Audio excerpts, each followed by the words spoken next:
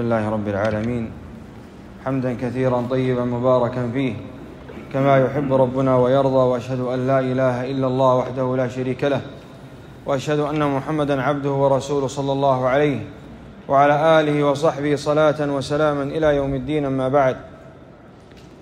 ففي هذه الليلة المباركة في ليلة من ليالي عشر ذي الحجة التي هي من أعظم بل هي أعظم الأيام والليالي عند الله سبحانه وتعالى التي يقول فيها النبي صلى الله عليه وسلم ما من أيام فيها العمل الصالح فيها العمل الصالح أحب إلى الله من هذه العشر أي عشر ذي الحجة قيل ولا الجهاد في سبيل الله قال ولا الجهاد في سبيل الله إلا رجل خرج بماله ونفسه ولم يرجع من ذلك بشيء ومن أجل الأعمال الصالحة التي يتقرب فيها العبد إلى ربه في هذه الأيام العشر والليالي العشر العلم النافع.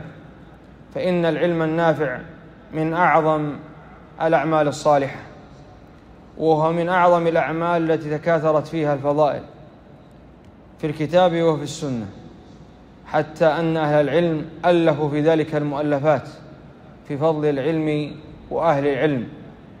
ولذلك يحتسب المرء مثل هذه الجلسات قربة لله سبحانه وتعالى في هذه الليالي المباركات.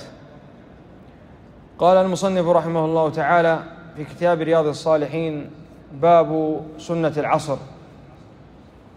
لا زال المصنف رحمه الله تعالى يذكر الأبواب في السنن الرواتب والسنن اليومية المتعلقة بالصلوات سنة سنة بعد أن ذكرها إجمالا ذكرها تفصيلا.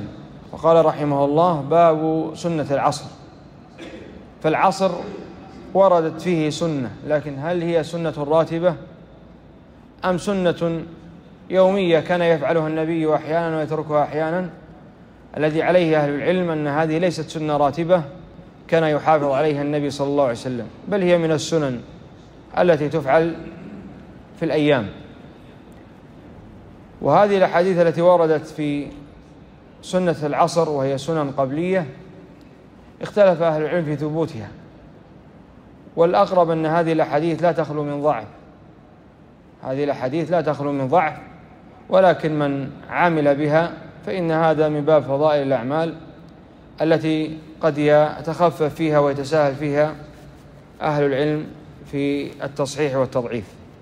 قال باب سنة العصر وعن علي بن أبي طالب رضي الله عنه قال كان النبي صلى الله عليه وسلم يصلي قبل العصر أربع ركعات يفصل بينهن بالتسليم على الملائكة المقربين ومن تبعهم من المسلمين والمؤمنين. رواه الترمذي وقال حديث وقال حديث حسن. وصحيح أن الترمذي قال حديث حسن غريب. وهذا الحديث فيه أن قبل العصر تصلى أربع ركعات ولكن هذه الأربع ركعات لا تصلى بتسليمة واحدة. لأن النبي صلى الله عليه وسلم كان يفصل بينهن بالتسليم بالتسليم على الملائكة المقربين ومن تبعهم من المسلمين والمؤمنين. والمراد بهذا التسليم المعروف. السلام عليكم ورحمة الله. السلام عليكم ورحمة الله. فإن العبد المسلم إذا سلم في الصلاة فإنه يسلم على كل صالح من الملائكة ومن البشر ومن خلق الله. فهذا الحديث كما ذكرنا أهل العلم اختلفوا في ثبوته وعدم ثبوته. ومثل حديث ابن عمر الذي قال في عن ابن عمر رضي الله عنه عن النبي صلى الله عليه وسلم قال رحم الله امرأ صلى قبل العصر أربعة. رواه أبو داود والترمذي وقال حديث وقال حديث حسن وقال حديث وقال حديث حسن. وهذا الحديث كالحديث الذي قبله ولكن يزيد فيه الدعاء أن النبي صلى الله عليه وسلم دعا لمن صلى قبل العصر أربعا بالرحمة. ثم قال عن علي بن أبي طالب رضي الله عنه أن النبي صلى الله عليه وسلم كان يصلي قبل العصر قبل العصر ركعتين. قال رواه أبو داود بإسناد بإسناد صحيح. وعلى كل حال كما مر علينا أن هذه الحديث لا تخلو من مقال وحديث علي بن أبي طالب الأخير أن النبي كان يصلي قبل العصر ركعتين هذا يخالف الأحاديث الصحيحة التي جاءت في الصحيح. أن الركعتين التي وردت هي قبل الظهر في حديث ابن عمر. وأيضا يعني ذكر أهل العلم في هذا الحديث أنه يخالف الحديث الصحيحة فضعفوه. وعلى كل حال من صلى أربعا قبل العصر وصلى ركعتين فالأمر في هذا فالأمر في هذا واسع لأن هذه الأحاديث مختلف في ثبوتها بين أهل العلم. ولكن هنا من المسائل المتعلقة بهذا قوله كان النبي يصلي قبل العصر أربع ركعات يفصل بينهن بالتسليم. إلى آخر الحديث.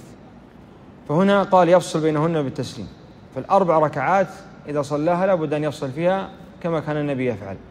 غير سنة العصر كسنة الظهر. سنة الظهر ورد أن تصلى فيها تصلى قبلها أربع ركعات. هل يجوز أن تصلى سردا بتسليمة واحدة أو لا يجوز؟ الصحيح أنه يجوز. الصحيح أنه يجوز للمرء أن يسرد أربعا بسلام واحد. لكن أيهما أفضل؟ أن يسرد بسلام واحد أو يصلي ركعتين ركعتين بسلامين؟ لا شك أن صلاة أربع ركعات بسلامين أفضل وأحسن. لماذا؟ لزيادة العمل فيها. لزيادة العمل فيها. وجاء حديث عن النبي صلى الله عليه وسلم صلاة الليل مثنى مثنى.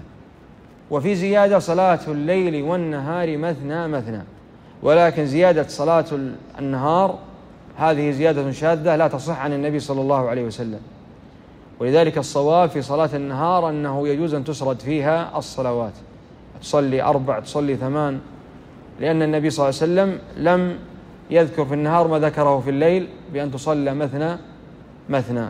فعليه يجوز أن تسرد سردا أو يوصل بينها بالسلام. كل ذلك جائز.